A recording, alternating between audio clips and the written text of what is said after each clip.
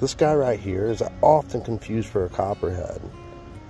But in fact, this is a Dekay's brown snake and completely harmless. They are not a venomous species, so uh, copperheads typically when they're this size will have a yellow uh, green tip on their end of their tail. Uh, this guy of course does not, but you can already tell by his patterns that this is more of a non-venomous species pattern. These guys are actually great at controlling insect populations. You can often find them around the outside of your house while working.